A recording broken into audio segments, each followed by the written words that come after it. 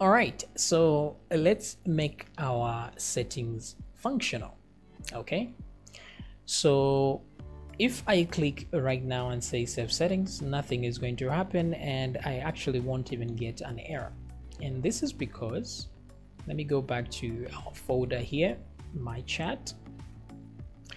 And this is because if we open our settings.php, the one in uh, the includes folder, we have our JavaScript right here together with uh, the HTML. It's being sent together with the JavaScript. So it seems uh, this kind of JavaScript that is sent is not active once it gets to this page. So what we need to do is to put our um, JavaScript already on the HTML page so that when this comes in, it can simply activate it. So what I want to do is go to your settings.php, the one in includes folder, and grab where the script tags are beginning up to where they are ending right here. So I'm going to grab everything in, including the script tags, and I'm going to cut that out. So we don't need this in here, which uh, reduces the amount of code. And we're going to need it in the index.php Uh, index.php file. So we're going to go down here, very bottom, where the script tags are ending, and then we're going to paste right there. So I'm going to shift tab so that it goes a little bit back twice, like so. Okay, so there's no problem with uh, closing the script tags and opening them again. So we're going to leave it as it is. That's fine. The only thing is we have uh, repeated functions here. So there's this function which also exists already in index.php, which is right there. Okay, so I want us to delete the functions that are repeated or not useful. So first of all, function, uh, this function right here, I'm going to delete. So collect data is unique, so we'll leave it there. Send data is unique, we'll leave it there. Handle result, however, is not unique, so we're going to delete that last one because we already have uh, handle result right here. Okay, so I think that's all we need to do for now. Uh -huh. So now let me refresh the page and hit settings. Great. And the only other thing we need to do is where is this? Uh,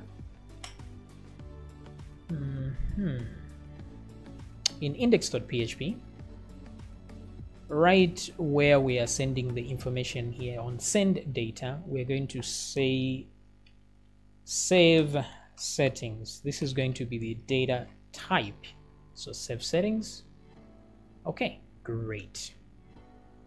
So let me refresh here click settings and click save.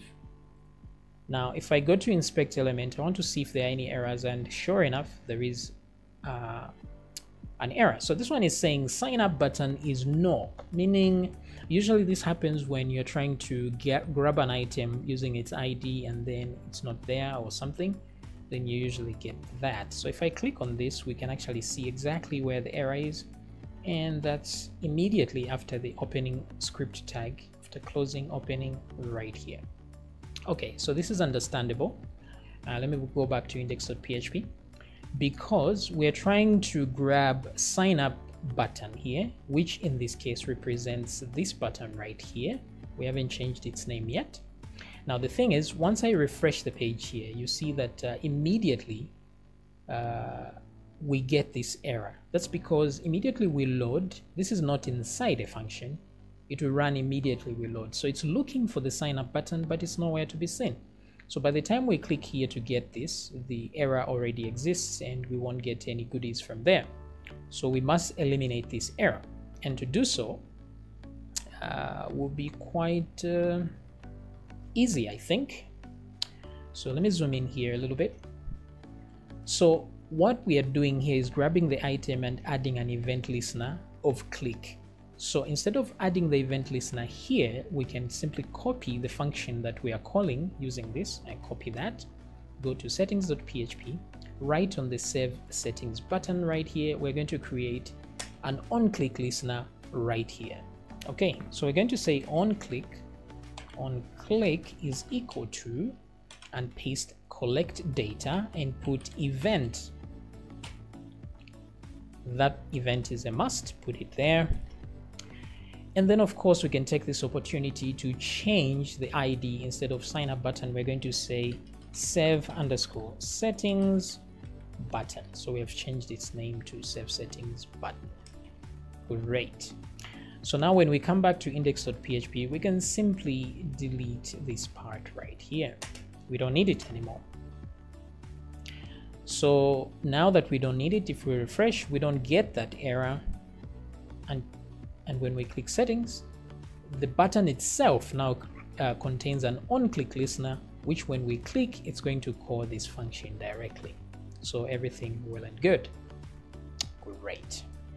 So what else can we do here? Um, so sign up button.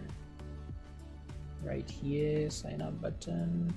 So we don't have sign up button anymore. So i'm going to select everywhere the sign up button and going to paste save settings button right here.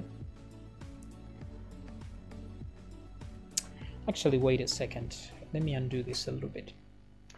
I still need to grab this for the sake of changing its content here. So what I will do is move this into here like so. Okay and then delete that one. Okay then I'm going to grab this like so and paste because we are changing the name save settings button.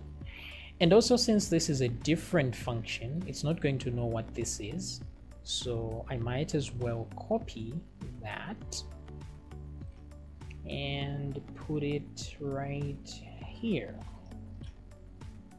Great. I think uh, we have it now so what this is doing is changing the button uh, content the button uh, yeah the content of the button back to sign up because the moment we start sending data we're, uh, we're changing it to loading please wait. Okay. So I think uh, that's about it. The only thing is since we um, we are using this data type save settings as the type what we can do is on the handle result which is here the handle result function we have to put a case for save setting here. So let me do this and duplicate like that and change this to save underscore setting. Is it save settings? It yeah it's save settings. Right great so here the only thing I want is to echo out whatever message comes back. So I'm going to say um, alert. So I'm going to remove all this and simply say alert the message like so and delete that. Great, we are good to go. Nice. Okay, and one more thing. For now, I just want to see the result of what we're going to do here so I'm just going to say alert here result like so. Okay? Goody and so now I need to open um, where we are sending the data which is api.php so I'll open that and make provision for that. So because save, uh, save settings isn't here so I'm going to duplicate this last part here control shift D and here where it says settings i'm just going to use save underscore settings. So now of course we need this file save settings.php sorry. So let's go to uh, where is this? Let me go to includes. So i'm simply going to copy sign up here because the information we are getting from uh, the settings this part looks almost like looks exactly like the sign up thing. So I think we already have the logic to handle that in signup.php. So I'm simply going to copy and paste it in the same folder and change it to save underscore settings. Good. Uh, wrong spelling there. save and open it great so we just need to change a few things here before we go any further. So for example we don't need to generate a user ID since we are editing a row that already contains a user ID so what we're going to do is data user ID we're going to get the user ID from uh, api.php in the session right there. We'll get it from the session so we're going to say there like that. Great date we don't need the date because we're not going to be editing the date. And everything else remains exactly the same. So we're just going to pass through all this evaluation process.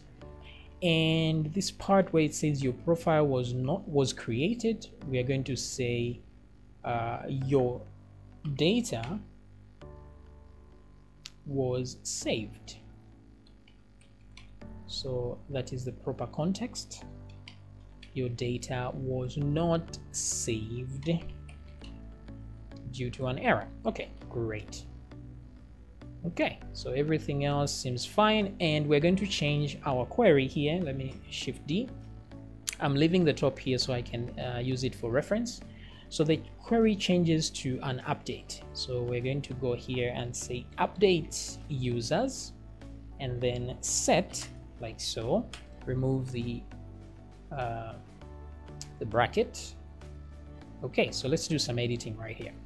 So all these guys here will need an equal sign so i'm just going to do this. Control i'm holding down control while doing this.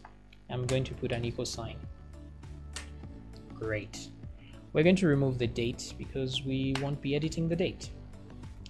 And also we're going to remove the user id since we will not be editing the user id so that's what remains. And what i will do now is grab the user id together with the full colon here and move it.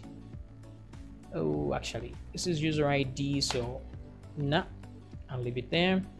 It's username that i need here. There we go. And i'm going to get the gender make sure the colon is there. And what else? Email. I'm going to get the email grab it there. Password as well voila everything is fine. And now we're going to we need to tell it which row to edit. So we're going to say where uh, where the user ID is equal to uh, full colon user ID like so. And then we're going to tell it to limit one. Limit one so that uh, it only edits one row okay I think uh, my query looks uh, solid. Anyway we will see once we try it. So let me delete the one on top. We don't need it anymore. And everything else remains uh, pretty much the same. All right great. And now what I want to do is um, go back to API index and I just want to check the okay so we have an alert here. So let me go back to save settings. What I want to do here is to simply read the data that is being received before uh, all right just to confirm that the data is being received. So what I want to do is just say die here so that the script just ends here. And I want to do a uh, echo and because what I want to echo is the data being received which is this one and this is an object so I'm going to JSON encode it into a string like that and then that's what I'm going to send. Simple and straightforward. So let me refresh here and I receive that. Great. So let me hit settings. Okay don't worry about that. This is just that information. So let me hit save okay that's great. So when I hit save you see that I get everything. Password 2 password 1 gender email username uh, and the data type. So everything seems to be working fine because our data is being sent there. So and then we get the undefined uh, all right. So let me remove this part and let it run. Let's see what we get this time. So I'm going to hit sign up your data was not saved due to an error Mm-hmm. So there was an error. Bummer. Okay, so what was the error? So let me come down here to save settings. And the error I got was your data was not saved due to an error, meaning result was not true here. Hmm, whatever could it be? So let me go back to my query and see. Update users set username equal to gender equal to email. It's very easy to uh, it's very easy to make a mistake on these queries. Okay there we go. So I have a closing uh, bracket here but I do not have an opening bracket. So I'm going to assume this was the error. Okay so let's give it another spin. We don't have to refresh the page because this is Ajax. Your data was saved. Great. Okay so now just to confirm that my data was actually saved uh, oh and one more thing actually. Let me go back to index.php everything seems to be fine so I'm going to remove the alert here so I can get a proper message. And then what I want to do is because you see once we change the settings the data displaying here should also change right so it's easy to change this data here because we've done it before by just saying get data user info. So I'm just going to copy this part right here, this, this function here, and run it immediately after the alert right there. Uh, I could, okay, I could just uh, do that, right? I could put it here or there, regardless. Okay. So let's refresh this time and settings. Now I just want to add a 2 at the top here just so I can see that uh, something will change there and hit save settings. And of course uh, nothing happens so I'm guessing there's an error but it seems there is none. Hmm. Let me refresh the page. So clearly uh, nothing has changed. So what is going on?